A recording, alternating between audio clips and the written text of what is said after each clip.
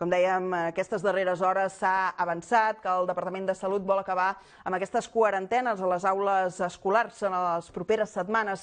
Els indicadors epidemiològics van a la baixa, la situació es pot anar relaxant i s'eliminen així algunes de les mesures que ens han acompanyat els darrers mesos. En el cas dels centres educatius, la gestió de la sisena onada no ha estat fàcil i tampoc ho ha estat per als equips mèdics que els ajuden. Des dels centres d'atenció primària són els anomenats referents Covid. Les quarantenes a les escoles poden tenir els dies comptats. El govern català ha avançat que preveu eliminar-les abans no acabi el mes de febrer si no hi ha cap altre contratemps. Des de després de les festes de Nadal, les quarantenes s'apliquen quan es detecta un mínim de 5 casos positius en una mateixa aula o grup de convivència i no cada vegada que es detecta un sol positiu.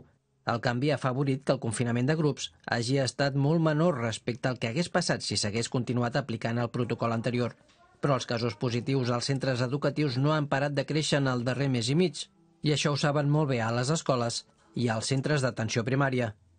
Els referents Covid dels ambulatoris són els equips mèdics que fan d'enllaç entre els centres educatius i el Departament de Salut.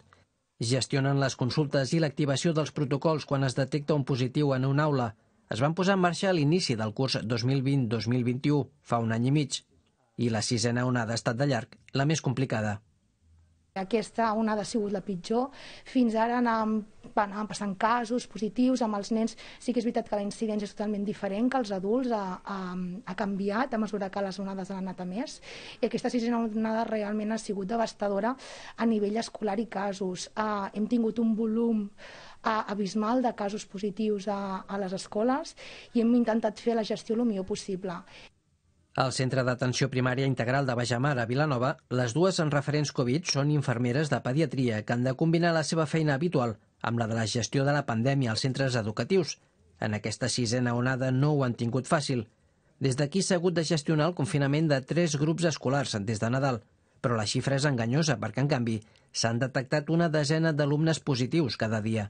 El protocol ha servit per evitar confinaments, però la gestió ha estat igualment complexa, a vegades fregant el col·lapse hem tingut molta més feina de l'esperada i hem tingut molts, molts casos que a nivell gestió a farmàcies, gestió de test, que s'han fet de forma domiciliària o, o a farmàcies, jo crec que hem, que hem estat per sobre de l'esperat.